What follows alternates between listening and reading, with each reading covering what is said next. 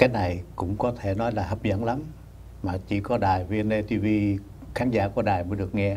Những bản tin hấp dẫn này, lý do tại sao? Tại vì cái này phải lục loại lắm mới có được. Mình không ngờ rằng ông Zelensky được nước Mỹ trao tận tay một cái telephone đặc biệt bằng vệ tinh.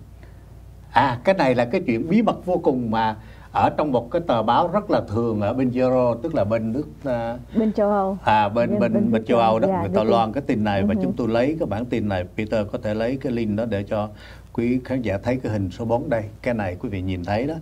Mỹ vẫn giữ liên lạc thường xuyên với ông tổng thống Ukraine Zelensky thông qua một điện thoại vệ tinh an toàn mà Mỹ cung cấp cho chính phủ Ukraine vào tháng trước trước khi cuộc xâm lược xảy ra.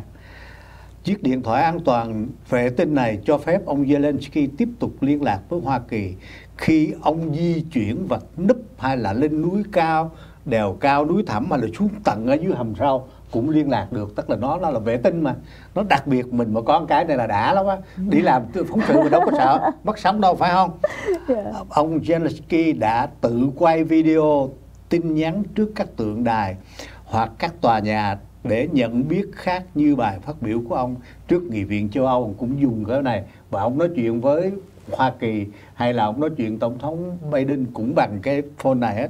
Thì đây là cái chuyện mà thưa quý vị, đó là rất là hấp dẫn.